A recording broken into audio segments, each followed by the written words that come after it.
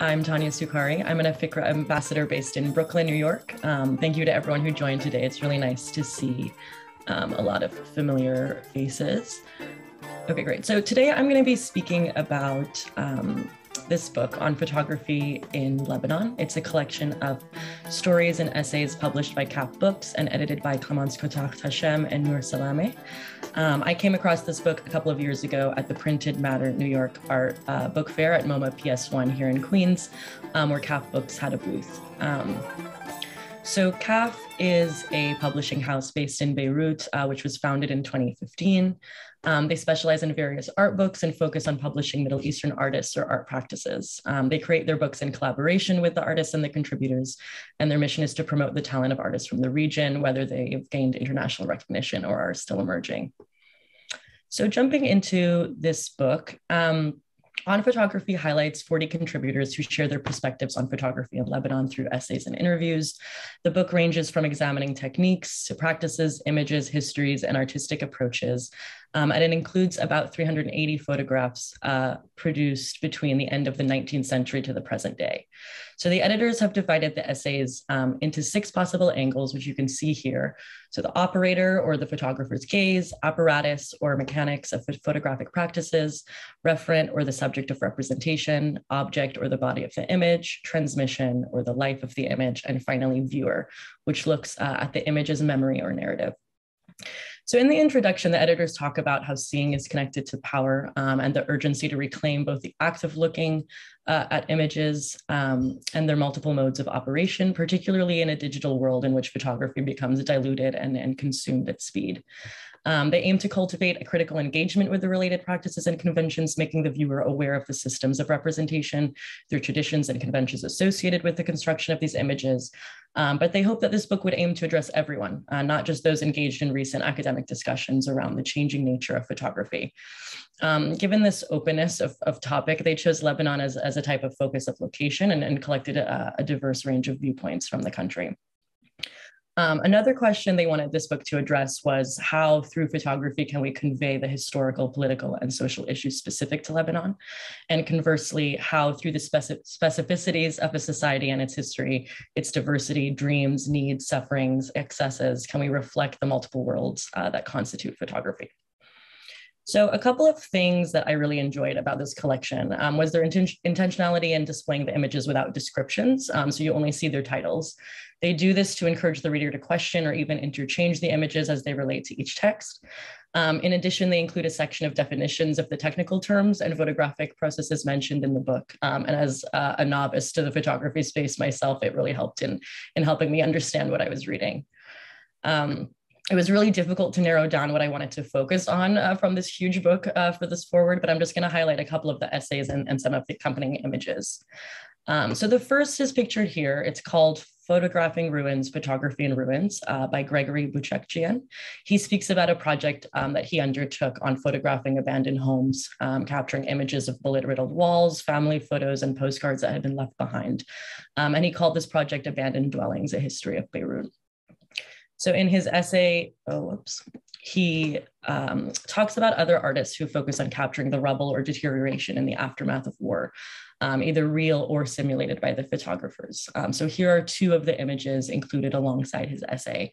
Um, on the left, a much older image from the mid 1800s, and on, and on the right, an image of Beirut um, by Ziad Antar from 2007.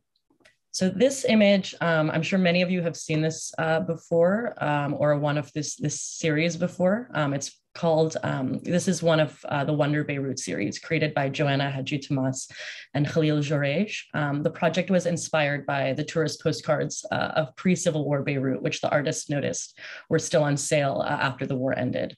Um, so the series centers on a fictional photographer who's commissioned by the tourist board uh, to make photographs of Beirut's attractions. And when the war breaks out in 1975, he goes into his archive and systematically burns his negatives to reflect the damage inflicted on the city by the war, um, creating these skewed, beautiful, and heartbreaking uh, images like this one.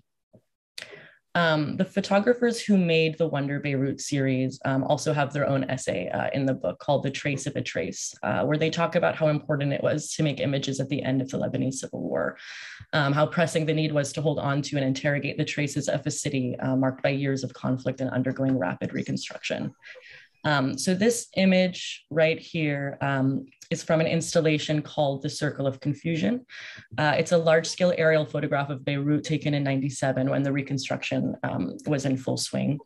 The photograph is cut up into 3,000 small fragments, all with the inscription Beirut does not exist on them, uh, and they're stuck onto this large mirror. Um, so the viewer is invited to come and take and keep one of the fragments of the image, revealing more and more of the viewer's reflection uh, behind it. And then the fragment on its own becomes incredibly abstract, abstract given the small size of it and out of the context of the work becomes really only meaningful for the person um, that has taken the fragment. Um, these are a couple more images uh, from an essay called Look, Now I'm Alive by Oliver Rowe, a, a war photographer. Um, he talks about war photography in Lebanon and in the region at large um, and, and how um, folks, photographers, news outlets use it in mass media to elicit empathy or, or tell a story. Um, and I know many of the images I've chosen to, to highlight today do happen to focus on photography around the Civil War and artists' relationship to it. Um, and so that definitely comes from a, a, personal interest of mine and my own family's relationship to the country. But the book does highlight so much more of a range of subjects uh, and, and the beauty of the country as well.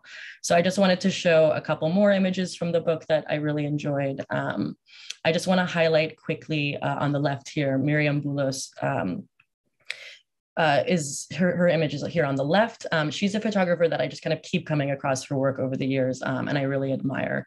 Um, she uses her practice to defy and, and resist forms of social and political domination and, and shed light on marginalized and misunderstood um, folks in society. Um, so definitely like look her up on Instagram. You can see some of her more current work. This is a few years ago now.